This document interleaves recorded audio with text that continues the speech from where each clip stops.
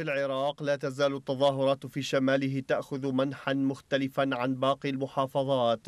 ليس طلبا للتوظيف وتحسين الأوضاع المعيشية والقضاء على الفساد فحسب بل لتسديد الرواتب المتأخرة للمعلمين والعاملين في المؤسسات الحكومية.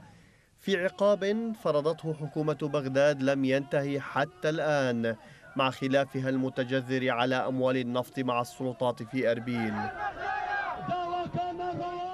ويشير معهد دول الخليج العربية في واشنطن إلى أن الأحزاب الموالية لإيران تواصل تقويض الحياة الاقتصادية والاستقرار في كردستان العراق منذ عام 2017 ذلك عن طريق استخدام الضغوط القانونية والمالية والسياسية وحتى العسكرية ضد الحكومة في أربيل.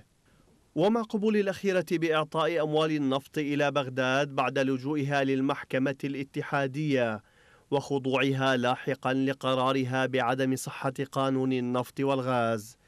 إلا أن ذلك لم يحقق انفراجة لأربيل التي خسرت نحو خمسة مليارات دولار من إيراداتها. ما تسبب في تباطؤ النمو الاقتصادي وتأخير دفع رواتب موظفي الخدمة المدنية في كردستان العراق.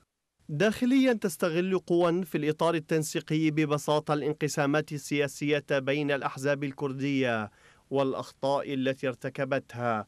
وكان من الممكن تجنب بعض النكبات لو التزمت كل من أربيل والسليمانية بالحوكمة الرشيدة التي تقدم مصلحة المواطنين على الأحزاب السياسية.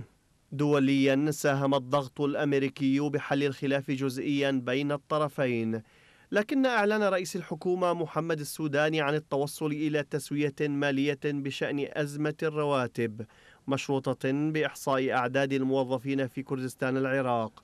أعاد تأجيج الخلاف من جديد. خلاف يبدو أن حله سيستغرق وقتا أطول في ظل الصراع السياسي المحتدم أصلا في البلاد. فرغم إقرار السلطات في كردستان العراق بأن الوضع المعيشي للمعلمين والعاملين بالدولة صعب للغاية إلا أن هذا الإقرار لا يعد كافيا حيث لم تلتزم الجهتان بما تقولانه لحلحلة المشاكل بين الطرفين. وانعكاس ذلك على من يعد الراتب مصدر عيشهم الوحيد.